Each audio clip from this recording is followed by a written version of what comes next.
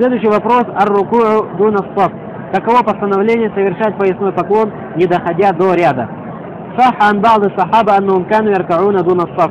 Пришло за достоверным иснадом от некоторых сподвижников то, что они совершали поясной поклон еще до того, как дошли до ряда. Сумма ямшуна или саф, а потом шли уже к самому ряду. И за адраку имам фи руку'ихи.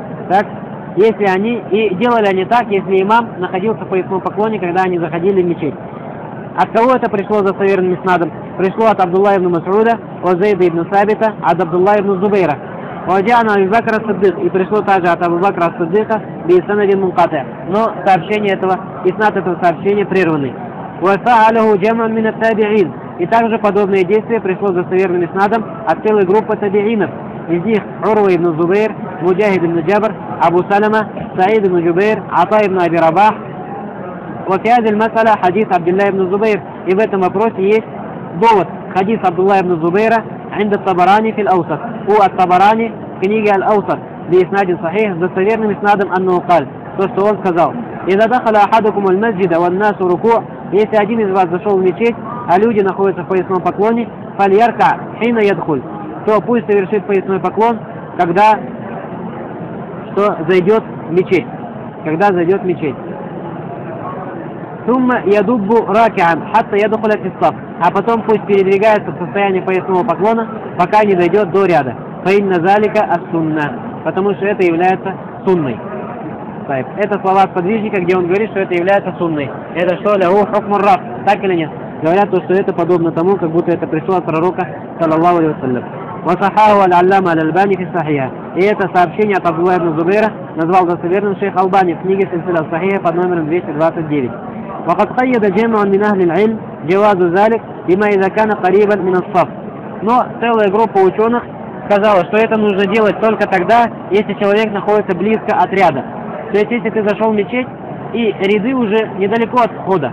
А если ты зашел в мечеть, и до ряда, допустим, до ближайшего еще 100 метров, например, или 50 метров, то есть мечети разные бывают. То есть, если ты совершишь поясной поклон и в таком виде пойдешь, пойдешь, то ты можешь идти так, люди два раката совершат, после этого, так или нет? Или целый ракат могут успеть совершить. Поэтому некоторые ученые сказали, это нужно делать только если ты близко к ряду. А что это за ученые так сказали? Сказал это Аль-Касим, Ибн Абдрахман, так, Аль-Хасан Аль-Басри, Аль-Зухри, Аль-Шафи, Лейс Ибн Саад, Аль-Аузай, Имам Ахмад в одном из равиатов от него, и это передается от имама Малика. Так. Вазаба Тайфа мин ахли иль или аль мин залик. И другое мнение в этом вопросе, которое придерживалась группа ученых, о том, что вообще это делать запрещено. То есть не нужно совершать поясной поклон до ряда. Вау кауль ан-Нахай, и это мнение придерживался Ибрахим ан-Нахай, и оно передается от Хасана аль-Басри, и это мнение имама Ахмада в одном из риваятов от него, Вуа Захир Ихтияр аль-Бухари, и это внешне то, что выбрал имам аль-Бухари.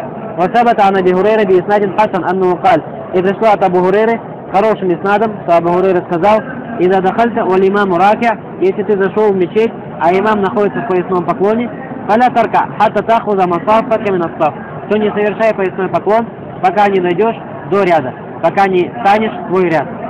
Варуя марфуан ва вахфу асах. И это же сообщение передается от самого пророка, саллаллаху алейhi но более достоверно, что это слова Абу Хурейры, а не слова пророка, саллаллаху алейhi واستدل من قال بالمنع من ذلك بحديث Аби Бакрата. И те, которые это запретили, то есть запретили совершать поясной поклон до ряда, использовали довод хадис Абу Бакры. Задакалlahu хирсан валя та'уд.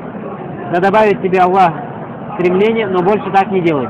Они сказали, больше так не делай, то есть не делай поясной поклон до ряда. Это ясно. وذهب بعضهم إلى أنه إن كان منفردا لم يركع حتى يدخل الصف. А некоторые ученые сказали, если ты зашел в мечеть один, то не совершай поясной поклон, пока не дойдешь до ряда. Ваинкана маху гайруху ракау дунастав. А если вместе с тобой кто-то есть, из своих друзей, вы зашли двое или трое, то совершить нужно поясной поклон, не доходя до ряда. Не доходя до ряда. И это мнение Исхака Абу Бакра ибн Абишейба, имам Ахмада в одном из ревятов от него, и передал это мнение Ибн Абдульбар от Абу Ханифы. Почему они так сказали, брат? Сказали, потому что намаз одного человека за рядом является недействительным. Как это у нас придет в следующем вопросе, так? Вопрос. Говорит, если ты будешь один и совершишь поясной поклон, то этим сам ты не успеешь дойти до ряда, возможно, так? А имам уже станет поясного поклона. Соответственно, получится так, что ты этот ракат прочитал один за рядом. и он тебе не засчитывается. А если ты двое, вас двое или трое, то вы вместе совершаете э, что поясной поклон и идете вместе одним рядом, так? И уже что? Относительно вас не говорится, что, вы соверш... что ты прочитал намаз или один ракат до ряда. То есть ты уже, вы уже есть отдельный ряд. Понятно или нет? Дальше говорит. Аля Абу Абдилля, говорит шейх Мухаммад Изам, «Ас-салаб хуаль бильджаваз». Во-первых, правильное мнение в этом вопросе является, что разрешено делать поясной поклон до ряда. Потому что относительно этого есть сообщение от подвижников, от табиинов, а также от самого пророка, саллаллаху Так, где Абдулла ибн Зубейр сказал его сунна, что это является сунной. Изакана Кариб Афсав. Но шейх Мухаммад Изам говорит, нужно это делать, если ты недалеко от ряда, от последнего ряда. Не хадис Абдилля ибн Зубейра. Довод на это хадис Абдулла ибн Зубейра, Вамма изакана даида минасаб, а если же человек далеко от ряда, фаля, то этого делать не нужно. Лянну яхтаджи ля амалин кафир юнафи фаля.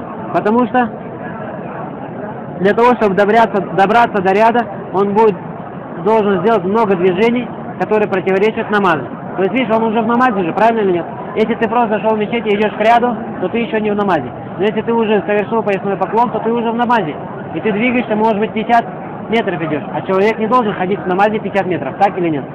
Говорит, وفعل الصحابة يحمل على أنهم كانوا قريبين من الصفوف. А что касается действий сподвижников, то необходимо их понимать так, что они были близко от рядов. وهو صريح في أثر زيد بن ثابت более того, об этом явно заявлено в Асаре от Зейда ибн Сабита. Вамма хадис Аби Бакрата, а что касается хадиса Абу Бакры, фаюхман каулю валя тауд, то слова пророка, саллаллаху алейhi больше так не делай, ай иля исра. То есть, не беги к намазу, не торопись к намазу. Фаюатик аль-хадис аль-ахар. И такое понимание подтверждается другим хадисом, где сказано «Иза укимати сала, фаля та'туха ва антум тас'аун». Когда дали каму на намаз, то не идите на намаз бегом, то есть торопясь. Ну идите, что алейкум биль вахар васакина. Ну идите посредством спокойствия. И что идите спокойно, не торопясь. Аль-хадис, Аллаху алям. И один Аллах лучше знает. Это понятно или нет? Значит, правильное мнение, что разрешено делать поясной поклон, не доходя до ряда, не доходя до ряда, если ряды от тебя находятся не на далеком расстоянии.